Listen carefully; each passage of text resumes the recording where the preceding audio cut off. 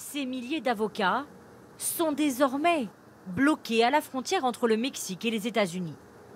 Après des menaces proférées contre l'un des inspecteurs américains du département de l'agriculture en visite au Mexique, Washington vient d'interdire l'importation du fruit vert sur son territoire. Le Mexique est pourtant le principal fournisseur des États-Unis. Huit avocats sur dix proviennent de la région du Michoacán, à l'ouest de Mexico. Avec cette interdiction, les clients craignent une hausse des prix. Si les prix commencent à trop augmenter, j'en achèterai moins souvent. Tant de voir dans les prochaines semaines comment ça va affecter l'approvisionnement.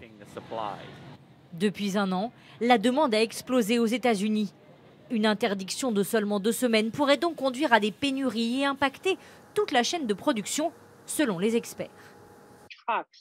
Les camions, les containers, les infrastructures, l'eau utilisée, l'électricité, tout cela va être perdu pour rien.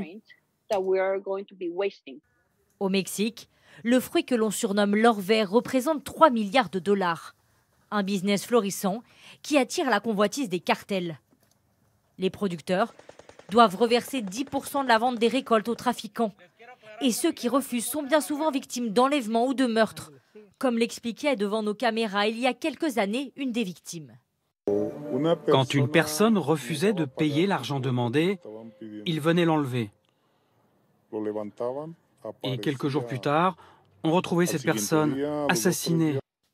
Le ministère de l'Agriculture américain a précisé que l'interdiction serait levée uniquement si le gouvernement mexicain garantit la sécurité des inspecteurs.